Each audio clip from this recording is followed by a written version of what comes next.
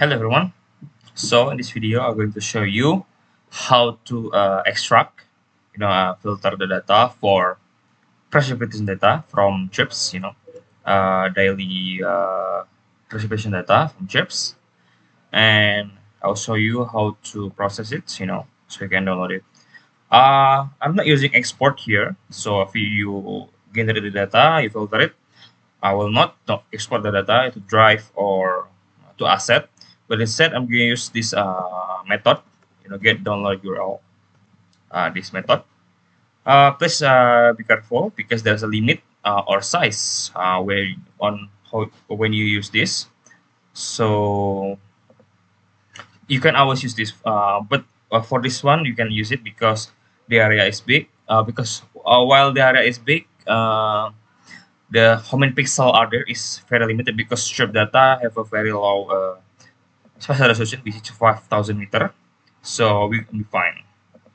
Okay so first uh, we're gonna set the parameter you know, uh, okay. Uh, first we import data chips data chips daily. So we get uh, daily precipitation data then I reset the geometry. I'm using the Java Islands this area this big.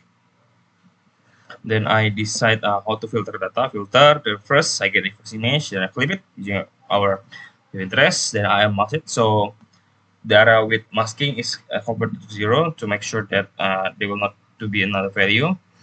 Then I'll show you the image. Then we make this parameter to download it. So the name, you know, uh, the coordinate system, scale, region, file per band, uh, and format, which is GeoTIFF. Okay, then we just uh, get in URL, decide the parameter, and make the callback. Where if it error, uh, you're gonna not do anything.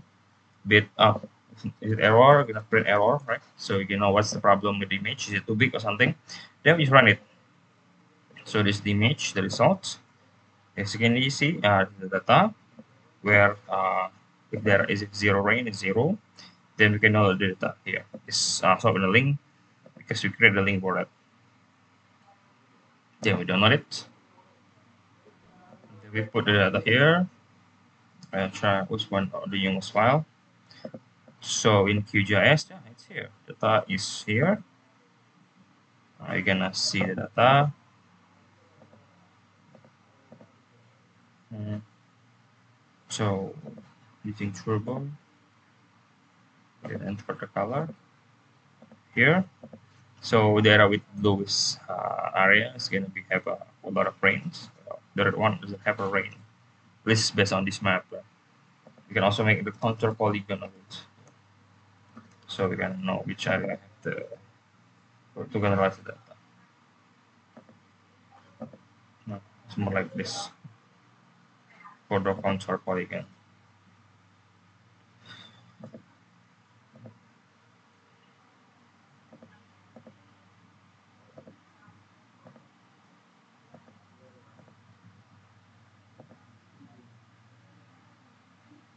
And let's try to change the color so this area is quite uh, I have a lot of rain. This area it seems. Okay I think that's it uh, for our video. So you how to uh, filter data. Then I show you how to show. Then I show you how to download it directly without using export. I guess that is thank you. Goodbye